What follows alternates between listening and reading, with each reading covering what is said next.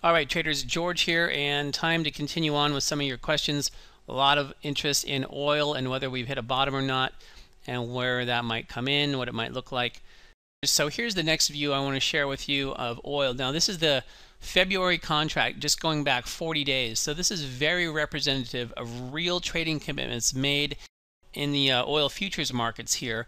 And what we've just seen uh, as we're at 47.52s right now is that this mid 48 level here is holding as resistance. We had a good break above it, faded below. Now we've got resistance there. So it's putting a lot of pressure on the bulls to get things going. If the bulls can get it back over 48.65s and then to 49.34s, which is the top here, that's what's going to be the first clue that we've got an end of move going.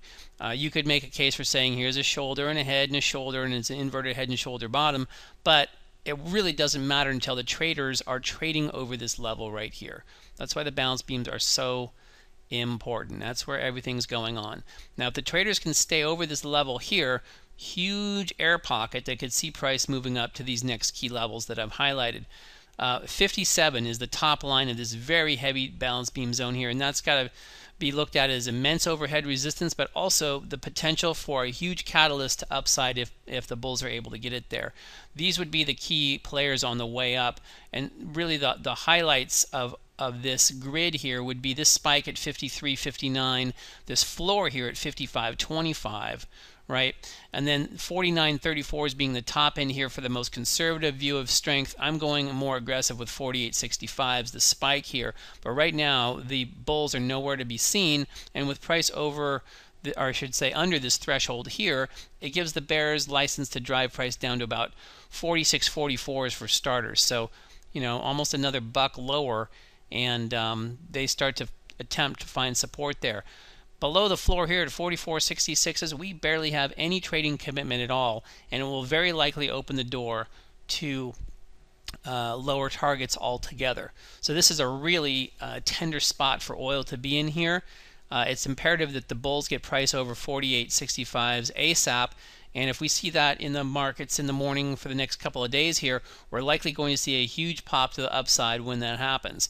So where oil is right now, for me to say that we're at an end of move and this is the bottom, I'm not going to say that yet, but I'm going to say as soon as the bulls get it over 48.65, that's going to be the green light for them to go. Whether they go or not, that's up to them. But that's something we'll be poised for in the live room. And if we drive lower to new lows altogether, we'll just reset the whole process. A couple ways to play this to the upside would be out of the money calls in the OIH, Oil Holder Service Index, as well as any options that you use on your futures contracts, which is a great way to play this upside as well. In the money calls obviously work as well, but they're going to be at, at a higher premium. Just a couple other angles to play here. That's the the uh, dominator right there, gang. 48.65s. Right now, the bears are in charge with price pulling below it, and just a couple cents lower here, we're probably going to see a 90 cent haircut, getting into the uh, lower 46s snapbacks through 48.65s are going to see a big pop north, just like they did the last two times here, and we'll be ready for that in the live room. We'll see you back there starting tomorrow.